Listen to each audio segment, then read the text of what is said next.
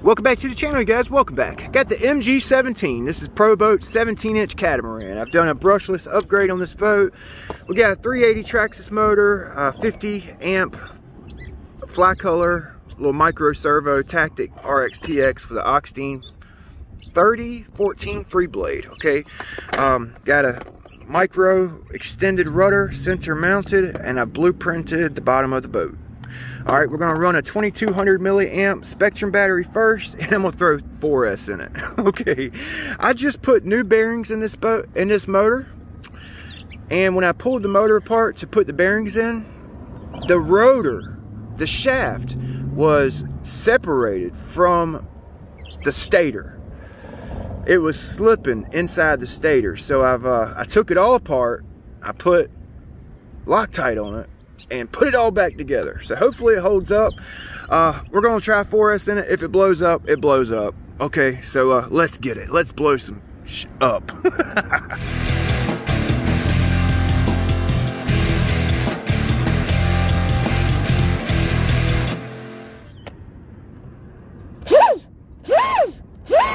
ready to go, ready to go.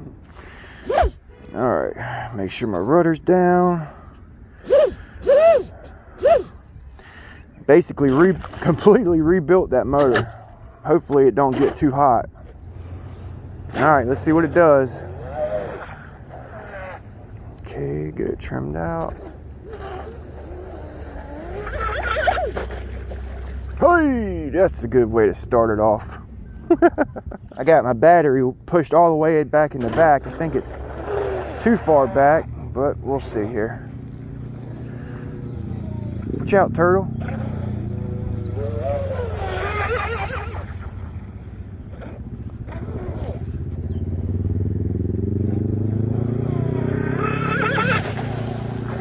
Yeah, I got it way too far back there.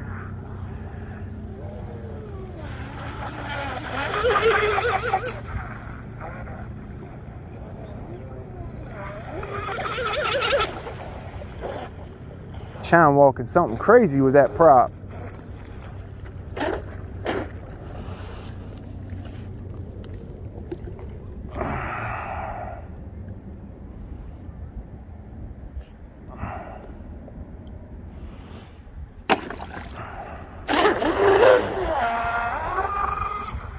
Go. Uh, a little bit of positive angle always helps. Oh, that one little freaking, that one little adjustment. I just hit a damn turtle.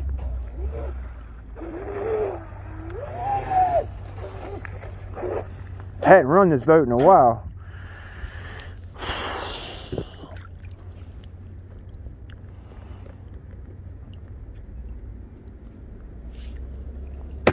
Okay, I gave it some positive angle there. Okay, uh, I, have been doing that to some catamarans here here lately, especially ones that are wanting to hop real bad.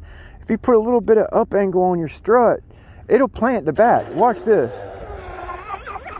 Oh, never mind.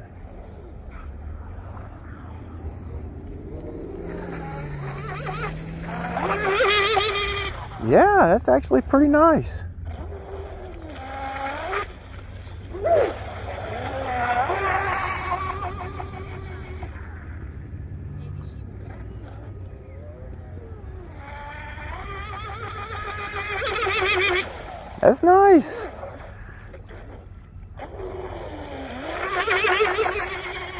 That prop's too much for this, for this setup.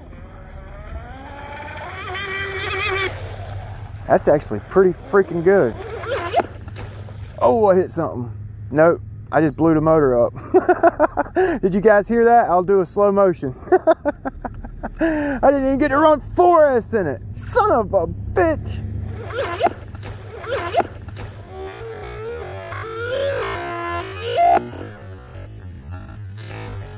So hopefully it wasn't the ESC. The motor, I don't care, but yeah, the ESC, I'd rather not have to replace that. Oh, I gotta make it. I gotta make a freaking order for some motors and some props. Boy, I've had some bad luck. Some bad luck. Well, throw it on the ground, B. Throw it on the damn ground.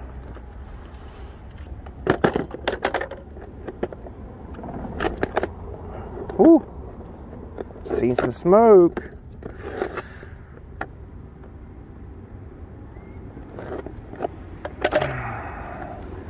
Most definitely. Check it out. She's locked up tighter than a dick hat band, boy. Won't even turn. I kind of figured that. You know, I, I, I glued that that stator back onto the, the main shaft. I was worried about it being balanced. You know, because all three pieces, well, it's four piece: the shaft, the end bell, the stator, the end bell. All four pieces were not glued together and I had ordered the bearings. I had already ordered the bearings. I pulled it apart.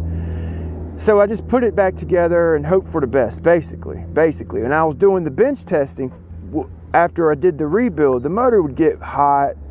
I had I had shims. I put two shims up front, two shims up back. I had the play in there. And it would get warm on 3S. That's why I was like, I'm gonna run it on 4S. If it blows up, it blows up. Because we're back at the shop. Figured I'd finish the video up here, like I said. Oh, we, uh, yeah, we definitely blew the motor up. And uh, I'm, I'm to go ahead and pull the, the motor out and pull it apart, just for the hell of it. Like I said, it was just a, a quick rebuild and, and a test run. I figured, I kind of, I kind of called it. I, I kind of figured it would happen. You know what I'm saying? Just by just by rebuilding the, the motor and seeing what, what was in there, you know, everything was off the main shaft. It, like everything, everything, you know. That that right there is awesome. I got one that fits on there perfect, man. That that that there is a ticket, boy. You can get in there and bend that bad boy anywhere you want it. Okay, that that's the ticket. I'm telling you, it's the bee's knees. Okay, the bee's knees. All right.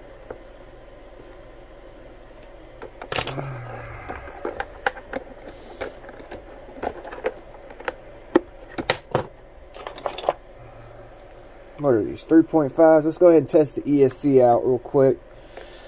Real quick. Let me get a battery. Alright, got a battery here. A little 7200 kV 2430. Alright, so the ESC is good. That's good. That's a good sound.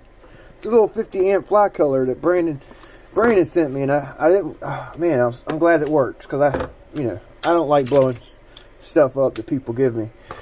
So, um, yeah, so, you know, I like this little 380 motor. It's, it's, it's an old motor, and for what it is, it's, it's not bad. Traxxas, they send you two bearings and some new screws to rebuild a motor with, you know.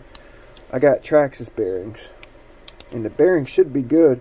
So I might just get another 380 Traxxas motor. I think it's a freaking six pole.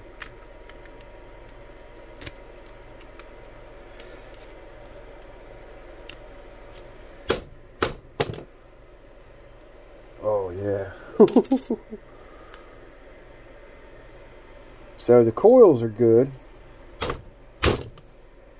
Oh, never mind. The coils come unwrapped. All right, so you see that? You see what I'm talking about now? I see that.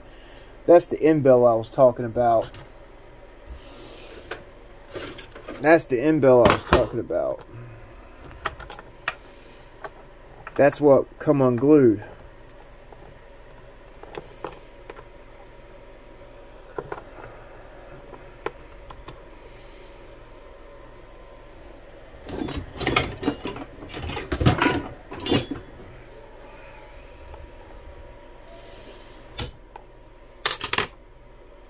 See the shaft? It come unglued. Oh, look at that. The, the magnet broke. Yep, that'll do it. that was that pop that we heard when, whenever I was accelerating and uh, we heard that pop.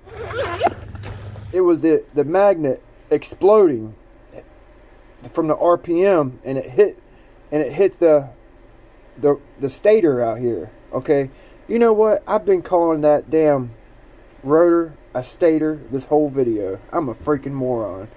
Jeez, I'm a moron. Golly. So whenever I built this motor, whenever I rebuilt it, okay, this piece, the rotor, not the freaking stator, and the other end bell were all separate, okay, off the shaft. And I'm wondering if it had a hairline crack in the magnet that's that's why it was separated from the shaft in the first place and I just didn't know it. This this magnet, the rotor has a stainless steel or a, a you know, a metal wrap on it. So there's no way to inspect it. Uh, but I didn't see any cracks in it or I wouldn't have put it back together whenever I did put it back together, I'm, I'm uh, factory had some marks on the on the end caps and on the rotor, and I made a couple marks too.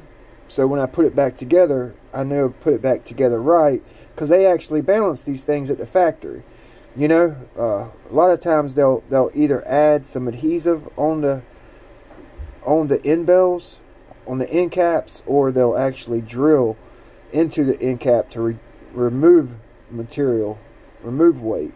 But whenever I glued it back together, I actually put put it in my vise, and then I had I had one side in the vise. No, how did I do it? I had a, a socket. That's what I used.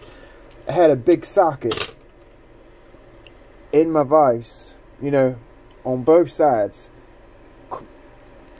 And then I, I crimped it together for a couple days you know, it's been it's been fixed for about two or three weeks. I had to get a drive dog. Uh, that's basically why I took the boat out. So yeah, yeah, I just wanted to show you guys that. I kind of figured it would happen. I called it. I called it. And uh, I feel like a moron. I was calling the freaking rotor a stator the whole freaking time. Shot out, boy. I got a lot of stuff on my mind. I ain't perfect. You guys know that. I got my I got my freaking money's worth out of it. You know, it came with the 116th E Revo, which is three years old, you know. And I've had it in two separate boats. I had it in a mini mono and a little Miss Geico there. So, uh, yeah, I think I need to, I want to, I want to get three more, really. I like these little motors, and I want to say they're like six pole, man. I like these motors. I want to get two of them for that new 21 catamaran bill I got coming up, and I want to get one more for this guy here either this or a 2948. I'm not sure yet. So, yep, we'll see you guys next time. Just wanted to kind of explain what happened. Uh, you know, shit happens. we'll see you guys next time. Thanks for watching.